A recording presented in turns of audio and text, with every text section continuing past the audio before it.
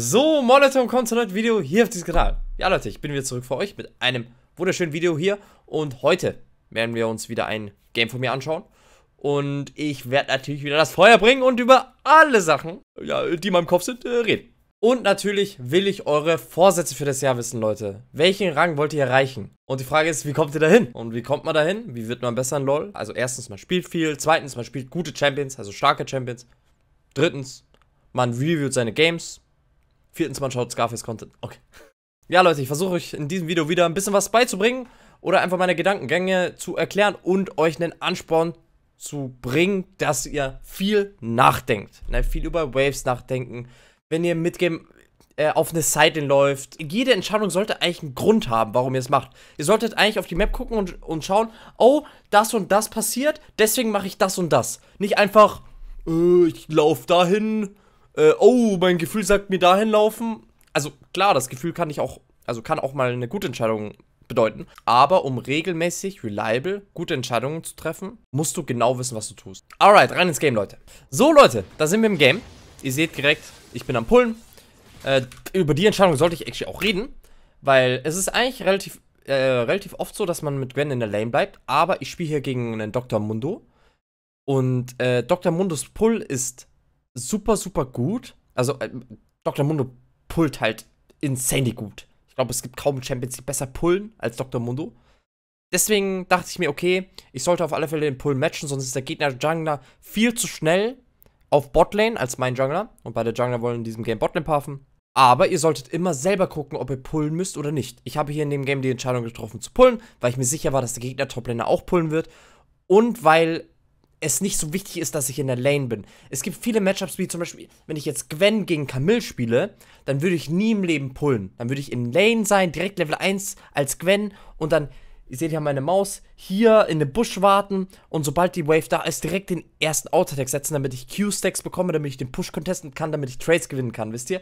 Aber gegen Mundo ist das nicht wirklich nötig, weil ich bekomme sowieso einen Push, außer Mundo ist in Lane Level 1 und hard pusht, aber es lohnt sich nicht wirklich für ihn tatsächlich, selbst wenn du reingepusht wirst in dem Matchup, Gwen gegen Mundo, hast, hat man als Gwen eigentlich meistens die Kontrolle über die Wave, weil du einfach besseren Wave Clear hast mit der Q. Der Mundo hat zwar ein AoE-Spell auf der E, aber Gwen hat auch guten Wave Clear mit der Q. Okay, Leute, ne, ich bin immer so fixiert auf einen Punkt und dann laber ich und laber ich und laber ich. Ich hoffe, das macht euch keine Probleme, weil ich dachte mir eigentlich, vielleicht kann ich heute ein bisschen übers Midgame reden, aber es wird wahrscheinlich meist, also überwiegend über die Lane Phase gehen. Habe ich in den letzten Tagen ja auch äh, oder in den letzten Videos ja auch, viel, ich habe ja viel über die Laning Phase geredet und wir werden einfach weitermachen. Ich versuche auch dann andere Rollen anzugehen, aber ja, jetzt sind wir hier, Leute. Jetzt äh, spielen wir hier Gwen gegen Mundo. Und ich gebe dem Lee einen schönen Pull und der Mundo pullt natürlich auch. Alright, Leute, ihr kennt's, wir wollen einen Plan machen. Ich bin jetzt als erstes in der Lane, Mundo hat gepullt, ich habe gepullt und ich krieg den Push. Jetzt muss ich eine Entscheidung treffen, ne? Welche Wave crashe ich? Wie werde ich die Wave spielen? Ich könnte auch tatsächlich einfach sagen, ich möchte einfach äh, so lange in der Lane wie möglich bleiben.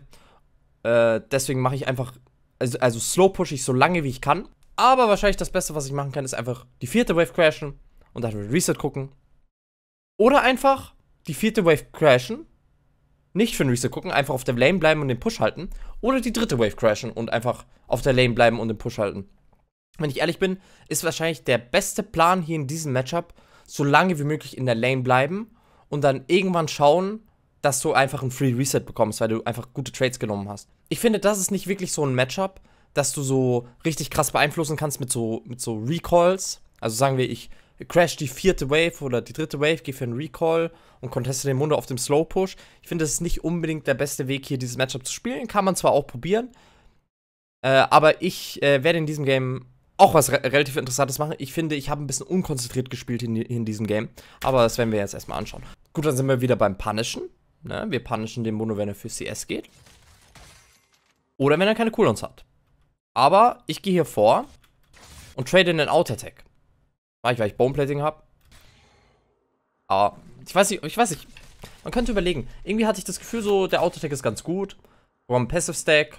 Hab noch mein Boneplating. Aber jetzt hätte, hätte der Mundo halt eine Q. Ich glaube, das sollte ich nicht machen. Ich sollte für diesen Autotech nicht gehen, oder? Aber...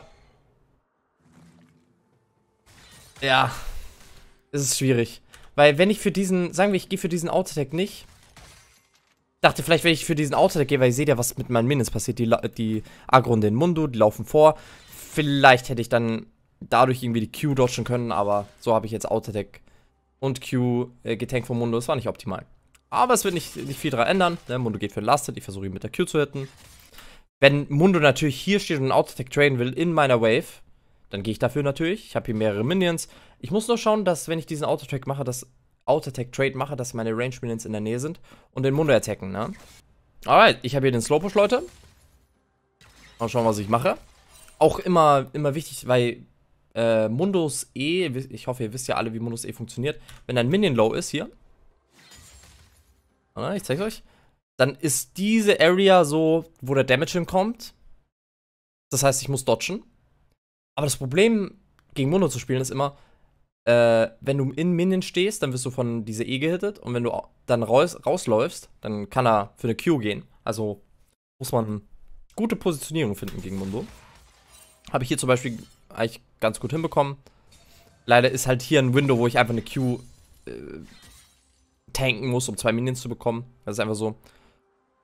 Aber gut, Landing, also äh, Trading-wise war das jetzt nicht so optimal. Mundo wirft Q und will für CS gehen. Ich gehe für QE. War auch nicht so optimal. Also genau, meine Trades sind nicht optimal, Leute, ne? Ihr seht's. Tatsächlich habe ich nicht so gute Trades genommen. Das geht auf alle Fälle viel besser. Aber gut, jetzt bin ich Level 3.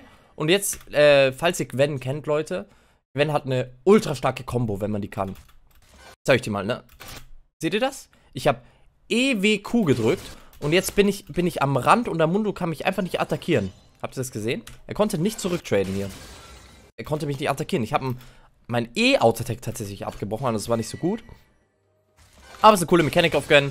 EW, du, und dann stehst du hier am Rand und der Gegner kann nichts machen. Eigentlich ziemlich cool.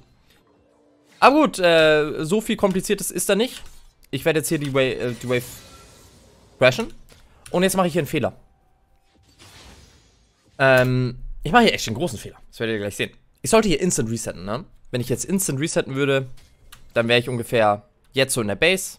Aber ich schaue ich schau so Mitte, vielleicht ist da irgendwas. Äh, das, das wird jetzt ziemlich komisch, Leute. Ich gehe jetzt basen, platzieren Wort, das ist nicht schlecht. So, jetzt schaue ich den Mundo an und ich denke und ich dachte mir, der Mundo kann die Wave schnell genug hard pushen, dass sie in den Tower geht. Deswegen TP ich hier. Aber wenn ich, wenn ich Anfang schon gebased wäre, wäre ich, wär ich wahrscheinlich ungefähr kurz vor der Wave äh, und könnte das vielleicht abbrechen. Aber wenn ich, wenn ich das mal anschaut, irgendwie ist das voll komisch. Weil irgendwie komme ich in keine Position, wo ich den Mundo irgendwie punishen kann. Weil der Mundo klärt jetzt die Wave unterm Tower. Ich meine, ich könnte jetzt instant resetten. Ne, ich könnte instant resetten. Aber der Mundo klärt halt die Wave unterm Tower. Und wenn ich für den Reset gehe, dann Mundo kann einfach volllaufen und die Wave hard pushen. Und dann muss ich TPen und schauen, dass ich die Wave freeze. Und dann kann er einfach auch TPen. Und dann ich, habe ich nicht wirklich einen Vorteil daraus gekriegt, dass ich den Push bekommen habe. Ne, Mundo könnte hier definitiv die Wave instant clearen. Ne? E auf den einen Minion, über die ganzen Minions, W drücken und dann einfach die Wave clearen. Ich denke schon, dass es möglich ist für ihn. Und das Ding ist halt, wenn ich halt instant gereset wäre, wäre ich wahrscheinlich jetzt kurz vor der Minion Wave hier. Aber wenn Mundo einfach committed hätte für, diese, für diesen Wave Push, dann hätte er es geschafft. Wisst ihr? Also es gibt hier wieder viel, über das man nachdenken muss. Okay, ich habe jetzt so einen Gedankengang gehabt. Was wäre, wenn ich diese Wave langsamer reinpushen würde? Dann wäre die nächste Wave von Mundo... Also sagen wir, ich, ich würde äh, die Wave jetzt ungefähr crashen. Sagen wir, jetzt würde ich die crashen. Also ich hätte ein bisschen länger gebraucht oder hätte mir länger Zeit genommen. Dann wäre die Wave jetzt hier. Die Wave wäre hier. Mundo könnte die Wave clearen. Und könnte trotzdem noch die nächste Wave einfach hart schaffen, ne? Also ist das nicht wirklich eine Option. Also die einzige Option, die ich habe, ist hier diese Wave so schnell wie möglich clearen. Also für diesen Trade gar nicht schauen. Der Trade ist super egal. Mich komplett auf die Wave konzentrieren. Und jede Sekunde, also jede Sekunde zählt hier tatsächlich, ne? Ich hätte diese Wave bestimmt ein, zwei Sekunden, drei Sekunden früher crashen können. Dann würde ich jetzt hier instant für den Recall gucken und nicht rotieren. Dann würde ich wahrscheinlich jetzt schon aus der Base kommen. Ja, ich würde wahrscheinlich jetzt schon jetzt so aus der Base kommen und wäre schon hier so. Also wäre schon ordentlich weit, weiter vor den Minions. Und wenn Mundo die Wave crashen würde, oder äh, versuchen zu hard pushen, dann wäre ich tatsächlich rechtzeitig da und könnte die Wave freezen. Und ich, wenn er sich, also wenn er das ganz schnell macht, wenn er richtig, richtig krass schnell irgendwie die Wave pusht oder so, dann könnte ich tatsächlich Ghost usen, um die Wave zu freezen. Um Mundo halt in eine richtig schlechte Position zu bringen, weil er kann mich halt mit der Item Advantage dann nicht wirklich contesten. Er kann halt die Wave nicht reinpushen. Es wäre halt ungefähr genau gleich wie hier jetzt.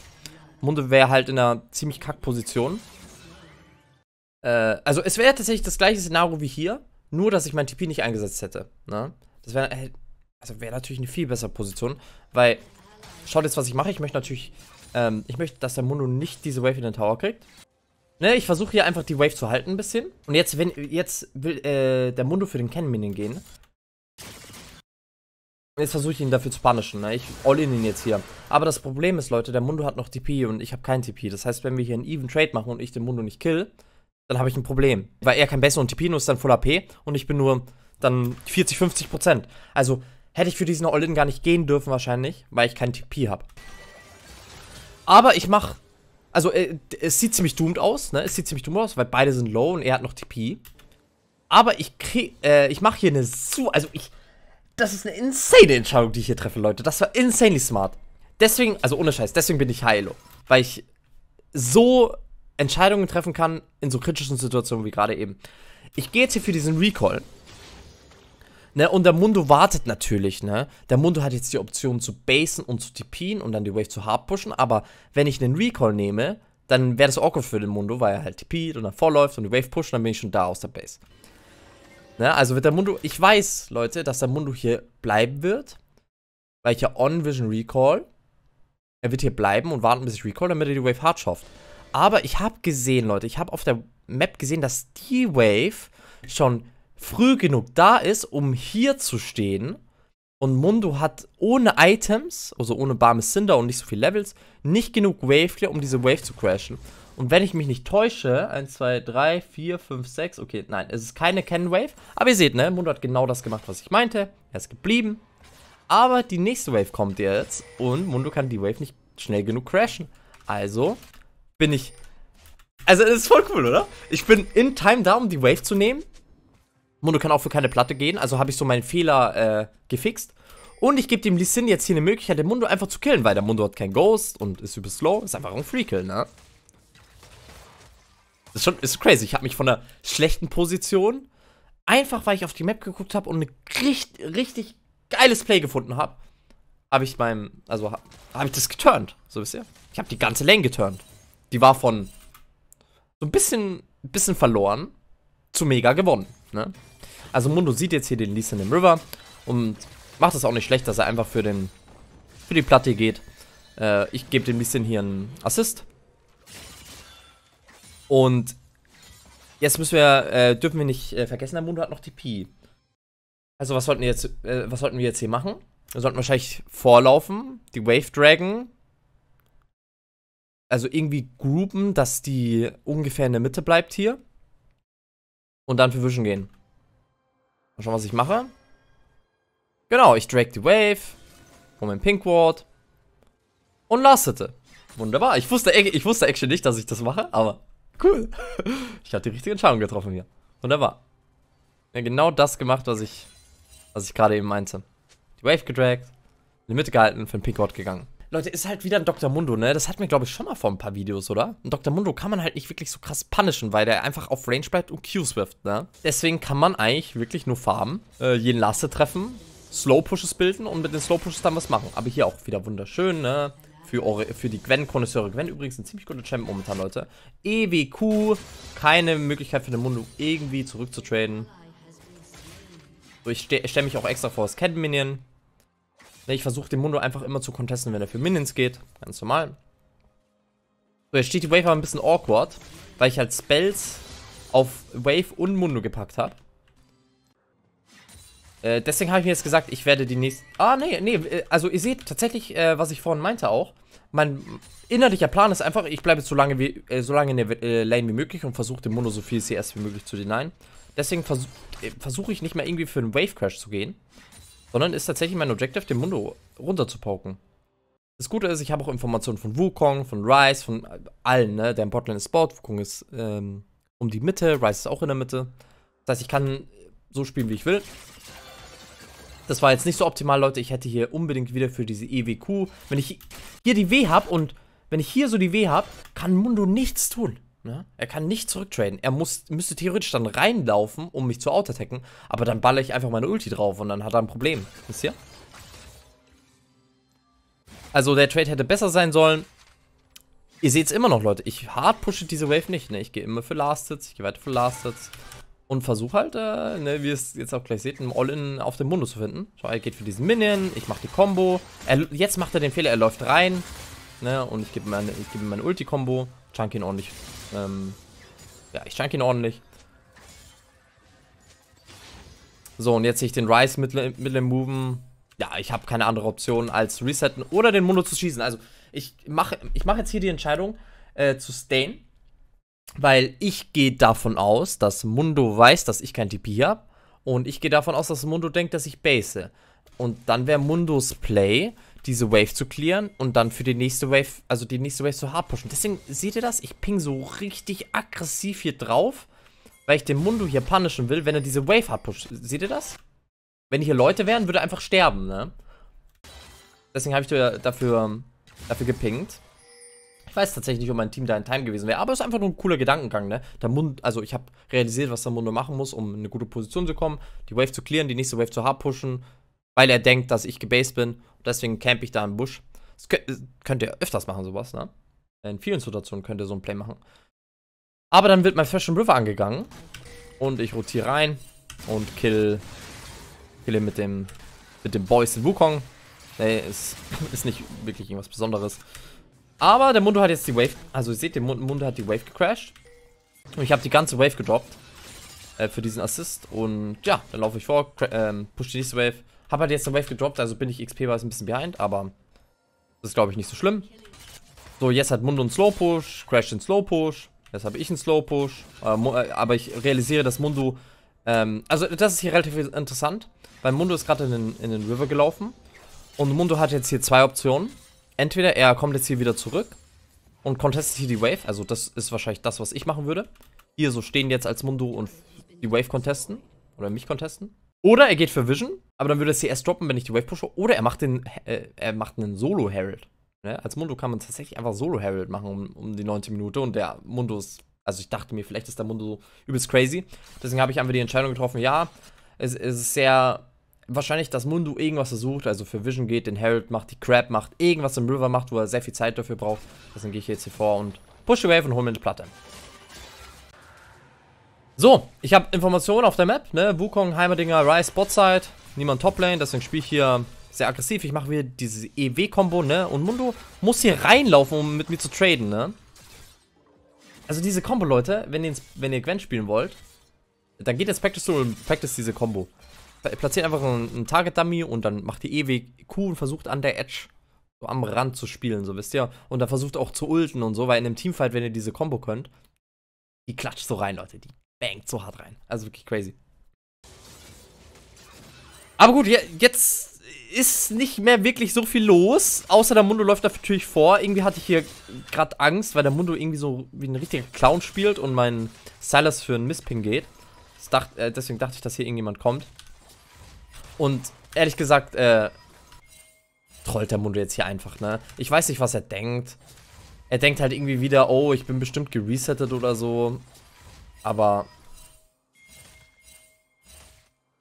das ist einfach nicht das Wahre, so ist ja, was der Mundo macht. Er wird natürlich ja sterben, ne? Der liest, ich ping dem die Sinn, dass der Mundo trollt, der Lee kommt Toplane, wir können den Mundo. Er ist da nicht dabei. So, äh, ihr seht, Leute, das Game ist ziemlich doomed. Bot Tower down, Mid Tower down, deren Aphidus ist übelst, übelst gefeedet. Ich versuche natürlich trotzdem mein Bestes. Die Lane Phase ist noch nicht vorbei, also gehe ich trotzdem weiterhin Toplane, Leute. Vielleicht würden viele von euch jetzt hier einen Tilt-Move machen und Midlane laufen oder irgendwas versuchen. Das ist aber auch nicht das wahre Play. Äh, solange, die, solange noch Platten da sind und die Lane Phase noch da ist. Also vor der 14 Minute, ne? Äh, ist, es, ist es immer noch am besten Toplane zu laufen. Äh, eigentlich sollte man Toplane bleiben, bis einer von den Turrets down ist. Aber gut, ne, wir finden wieder ein All-In auf dem Mundo. Ich bin ja ziemlich ahead. Schauen wir uns das All-In noch an. Ne, wieder diese schöne Combo. Ne, dodge schön seine Q. Hab zwar die Ulti gemisst. Aber spielt es hier ruhig und slow. Wunderbar, gibt dem nächsten auch einen Assist. Okay, da habe ich ordentlich was gemisst, aber... Kill den Mundo, wunderbar. Ne? Kill den Mundo, push die Wave.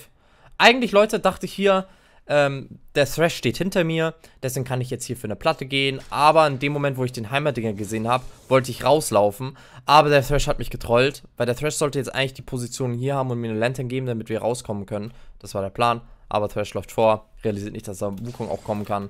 Aber es ist auch irgendwo my bad, Leute.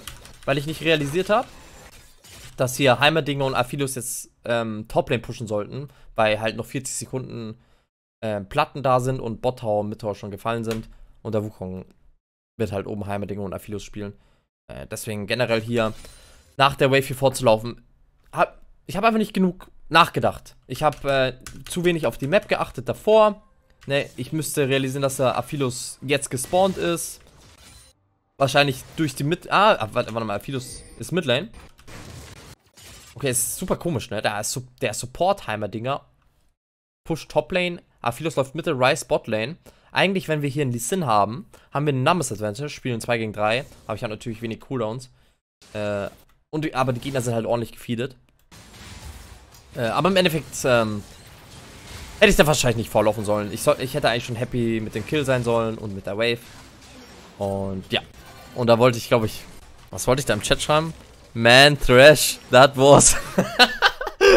ja, okay, das sollte ich nicht machen, Leute. Ich wollte ich wollt dem Trash, glaube ich, einfach sagen, dass er mir einfach eine Lantern hätte geben sollen. Aber im Endeffekt hätte ich auch selber die Entscheidung machen können, die Wave zu pushen und dann einfach zu recallen, ne? Na gut, Leute, das Fazit für heute. Viel nachdenken, Leute. Immer eine Entscheidung treffen. Leute, wenn ihr echt improven wollt und den Rang erreichen wollt, den ihr äh, euch vorgesetzt habt für dieses Jahr. Ich denke, viele von euch haben Jahresvorsatz, oh, ich will Platin, ich will Diamant erreichen. Aber das schafft ihr wirklich nur, wenn ihr auch wirklich hart versucht, besser zu werden. Also ich möchte euch das nochmal ins Herz legen. Spielt konzentrierte Spiele, ne? spielt starke Champions. Geht nach den Games in Reviews, ne? schaut euer Game an, hinterfragt jede Situation, jede Entscheidung, jeden Klick, jeden Spell. Ne? Alles sollte einen Grund haben. Oh, ich mache diesen Auto-Attack, weil das. Ich trade mit dem Gegner, weil das. Ich gehe Botlane, weil das. Also alles in League of Legends hat einen Grund, Leute. Also ganz wichtig, Leute, ihr solltet euch nicht nur auf euren Instinkt verlassen, sondern auf euer Wissen. Ne? Und durch euer Wissen, durch eure Knowledge gute Entscheidungen treffen. Dann werdet ihr richtig gut, Leute. Alright, Leute, ich hoffe, ihr hattet einen guten Start ins Jahr. Danke fürs dabei sein. Man sieht sich.